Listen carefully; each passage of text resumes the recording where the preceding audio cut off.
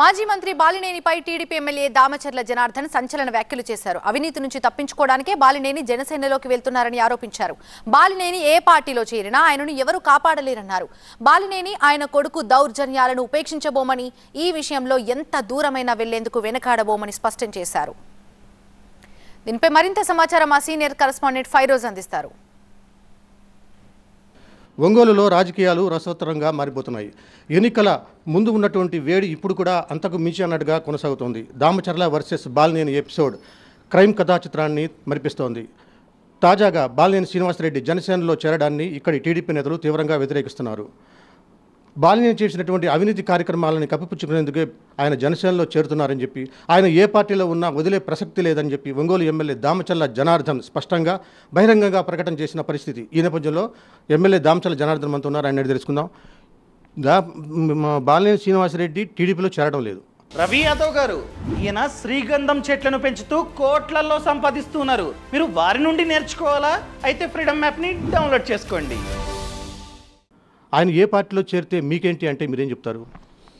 ఆయన ఏ పార్టీలో చేరితే అది మాకేం సంబంధాలు లేవండి. ఆయన ఎక్కడికి పోయి ఏ పార్టీలో చేరినా ఎక్కడ ఉన్నా కూడా మాకు దాని గురించి అసలు మేము అబ్జెక్ట్ చేయట్లా.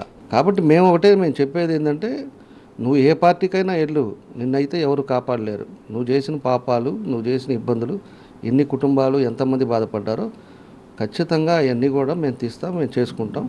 నువ్వు ఏ పార్టీలోకి నీయాలి నీ లభి కోసమో లేకపోతే నీ ఆస్తులు కాపాడుకోవడం కోసమో నువ్వు చేసిన అవినీతిని కప్పిపుచ్చుకోవడానికో నువ్వు పార్టీలోకి వెళ్తున్నావో ఏందనేది ఆ భగవంతుడికి తెలవాలి.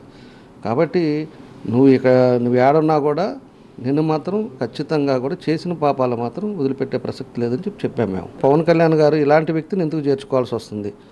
ఇతను ఏమన్నా ఎమ్మెల్యేనా ఎమ్మెల్సీనా లేకపోతే ఇంకోటే? పవన్ కళ్యాణ్ గారు ఏం ఎందుకు అంత తొందరపడి వంద రోజుల్లోనే ఇతను చేర్చుకుంటున్నారా అనేది మాకు అర్థం కావట్లేదు. దానికోసమే మేము పవన్ కళ్యాణ్ గారు నేను మొన్న కూడా అనింది ఏంటంటే రేపు ఏదన్నా కూడా పోలీసు వాళ్ళు వచ్చేసి రేపు ఇతను కేసుల్లో కానీ ప్రూవ్ అయిపోతే పవన్ కళ్యాణ్ గారు కూడా ఇతను కాపాడలేని పరిస్థితి వస్తుంది. ఎందుకంటే ఆయన కానీ చంద్రబాబు నాయుడు గారు ఎన్డీఏ కూటమి ఎవరు కూడా ఇలాంటి యాక్టివిటీస్ని ఎంకరేజ్ చేయరు. ఖచ్చితంగా మన తెలుసు కదా మన చిత్తూరు జిల్లా ఒక ఎమ్మెల్యేని కూడా జరిగినప్పుడు ఇమీడియట్గా పార్టీ సస్పెండ్ చేసింది. కాబట్టి ఇలాంటి పరిస్థితులే వస్తాయి. ఇలాంటి మీద ఇన్ని ఉండేటప్పుడు ఇతను అర్జెంటుగా చేసుకోవాల్సిన అవసరం ఏంటి అని చెప్పి నేను ఆ రోజు అన్నాను తప్పితే వేరే ఉద్దేశం కాదు.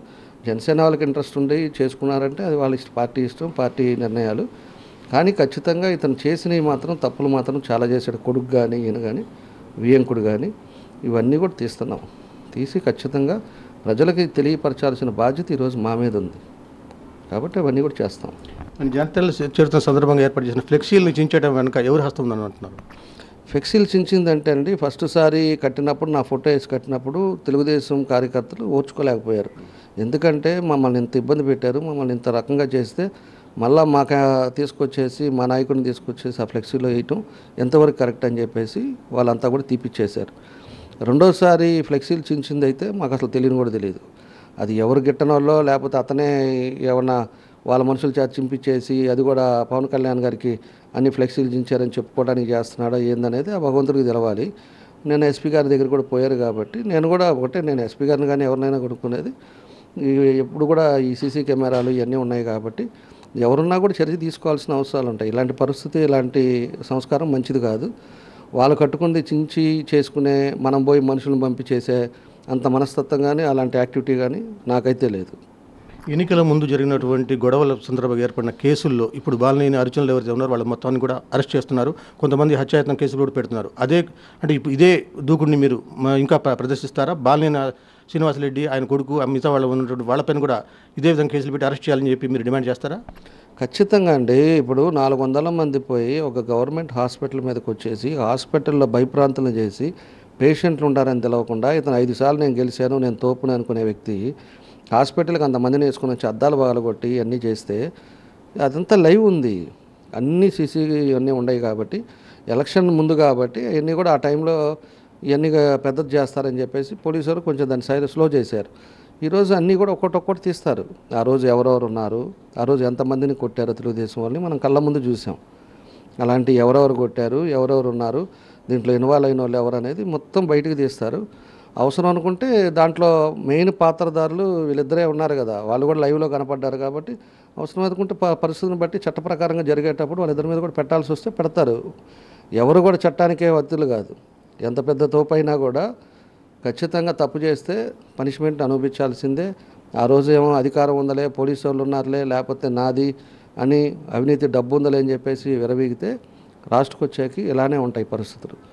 ఈరోజు ఏ పార్టీకి వెళ్ళాలో దిక్కు లేకుండా ఏం చేయ ఎట్ట తెప్పించుకోవాలో తెలియకుండా ఉండే పరిస్థితులు వస్తాయి. ఎవరికైనా కూడా అతిమించి పని చేయకూడదు అంటారు పెద్దలు. ఆ పని చేశాడు అనుభవిస్తున్నారు.